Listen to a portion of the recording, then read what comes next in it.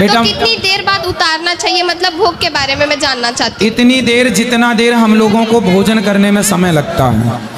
जितना हम लोगों को भोजन करने में समय लगता है उतनी देर तक भगवान के सामने प्रसादी रखना चाहिए। हम जानते हैं कि इंसान को खाने की ज़रूरत है। खाना खाने की ज़रूरत है। खुदा को खाने की ज़रूरत नहीं। लिखा है सूर्य अनाम में, सूर्य नंबर छः आयत नंबर चौदह में, कि अल्लाह सुबहाना व ताला लोगों को खिलाता है और उसे खाने की ज़रूरत नहीं। ही feeds every one but does not require to be fed इंसान को आराम की ज़रूरत है। इंसान को नींद की ज़रूरत है। खुदा को आराम की ज़रूरत नहीं। खुदा को नींद की ज़रूरत नहीं। लिखा है कुरान में, सूरह बकरा में सूरा नंबर दो, आयत नंबर 255 में, आयतल कुर्सी में, अल्लाह ला इलाहा इल्ला हय्युल कय्यूम, ला ताखुज़ु सिनतun नौम, लहू मा फिस व मा फिल अल्लाह सुबहाना व एक है, वो बेनियाज है, वो मालिक है सारे चीज़ों का, जो आसमान और धरती पे है। उसे आराम की ज़रूरत नहीं, ना ही उसे नींद आती है। जब खुदा इंसान बनेगा तो वो खुदा नहीं रहेगा। क्योंकि खुदा और इंसान की सिफात बिल्कुल अलग है, बिल्कुल ऑपोजिट है। खुदा लाफानी है, इंसान फ़ानी है। आप ये अगर कहेंगे कि खुदा इंसान बन गया तो ये आपको मानना पड़ेगा कि वो खुदा खुदा नहीं रहा, इंसान बन गया। लेकिन ये कहेंगे कि खुदा इंसान बन के भी खुदा है गॉड मैन ये बिल्कुल गलत चीज़ है। क्योंकि इंसान और खुदा की सिफात बिल्कुल अपोज़िट है। खुदा लाफानी है, इंसान फ़ानी है। आप अगर ये कहेंगे, एक ऐसा शख्स है जो फ़ानी भी है और लाफानी भी है, ये बिना मानी अल्फाज है। ये तो वो शख्स फ़ानी है या लाफानी है? लाफानी और फ़ानी दोनों साथ में हो ही नहीं सकता। खुदा की शुरुआत नहीं, इंसान की शुरुआत है। आप कहेंगे ऐसा शख्स है जिसकी शुरुआत भी है और शुरुआत नहीं भी, ये लामानी अल्फाज है। खुदा का अंत नहीं। इंसान का अंत है। आप कहेंगे गॉडमैन है। एक खुदा इंसान है, जिसका अंत भी नहीं और अंत भी है, ये लामानी अल्फाज है। हो ही नहीं सकता। इसीलिए मैं कहता हूँ कि अगर खुदा इंसान बनता है तो वो खुदा नहीं रहता। आप कहेंगे, खुदा इंसान गॉड मैन ये कॉन्ट्रडिक्टिंग है। और अगर खुदा इंसान बन जाता है और खुदा ही दे देता है, अपना जो खुदा का पावर गिव अप करता है तो ऐसे इंसान की इबादत करने की ज़रूरत क्या? जो आप और मेरे जैसा है। अगर फिर आप कहेंगे, ये इंसान फिर से खुदा बन जाता है, अगर इंसान खुदा बन सकता है तो आप और हम भी खुदा बन जाएँगे। तो ये कहना कि खुदा इंसान बनता है बिल्कुल लामानी अल्फाज है। खुदा इंसान बन ही नहीं सकता। वही तरफ़ पे इन द सेम आर्ग्यूमेंट अगर कोई शख्स कहता है कि खुदा सब कुछ कर सकता है, अगर मैं मिसाल के तौर पे फॉर ऑफ़ आर्ग्यूमेंट मान लेता हूँ कि खुदा सब कुछ कर सकता है तो खुदा झूठ भी बोल सकता है। लेकिन झूठ बोलना खुदा की सिफत में से नहीं है। खुदा झूठ बोल ही नहीं सकता। अगर खुदा झूठ बोलेगा तो वो खुदा ही नहीं रहेगा। अगर मैं आपकी बात मान लेता हूँ कि खुदा सब कुछ कर सकता है तो खुदा नाइंसाफ़ी भी कर सकता है। लेकिन नाइंसाफ़ी करना खुदा की सिफात में से नहीं है। कुरान में लिखा है सूर्य निसा में सूरा नंबर चार, आयत नंबर चालीस में, अल्लाह सुबहाना व ताला थोड़ी भी नाइंसाफ़ी नहीं कर सकते। अगर खुदा नाइंसाफ़ी करेगा तो खुदा ही नहीं रहेगा।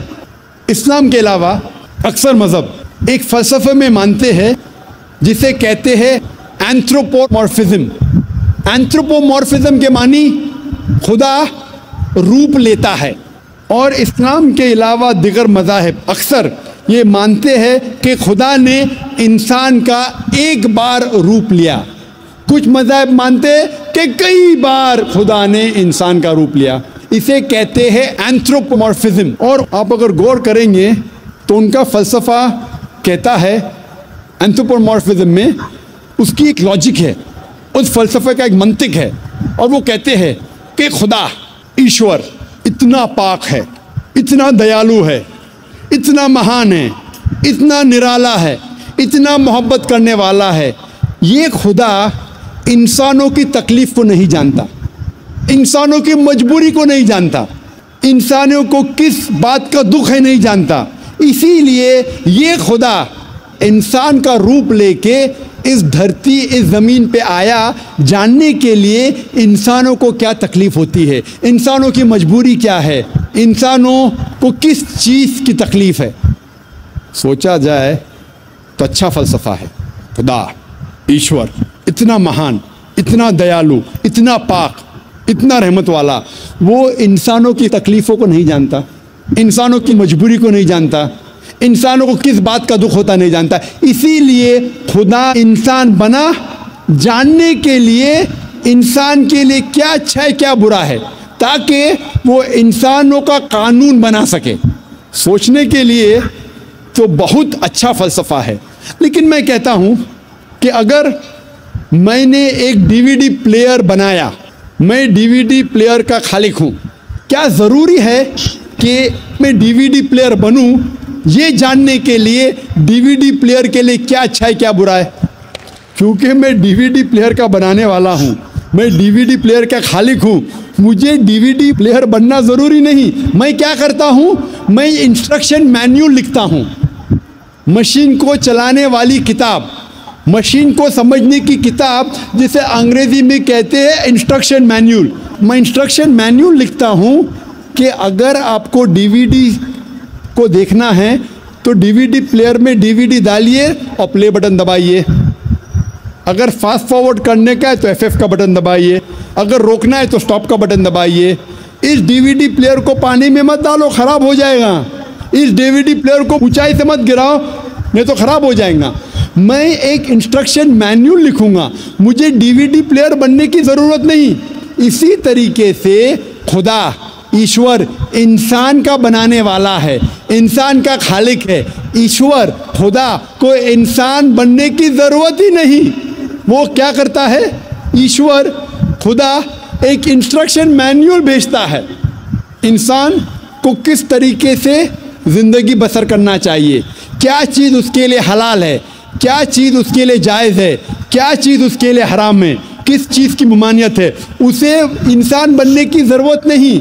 वो भेजता है इंस्ट्रक्शन मैन्यूल और इंसानों का आखिरी इंस्ट्रक्शन मैन्यूल इंसान को अगर कहेंगे कि मशीन वो सबसे बेहतरीन मशीन है। उसके लिए इंस्ट्रक्शन मैन्यूल की बहुत ज़रूरत है। जितनी कॉम्प्लिकेटेड मशीन जितनी पेचीदा मशीन है, उतनी ज़रूरत है इंस्ट्रक्शन मैन्यूल की। अगर आप मुझे इजाज़त देंगे इंसान को मशीन कहने की तो आप ये कबूल करेंगे कि सबसे पेचीदा मशीन इस कायनात में वो है इंसान। तो इंसान के लिए इंस्ट्रक्शन मैन्यूल की ज़रूरत नहीं।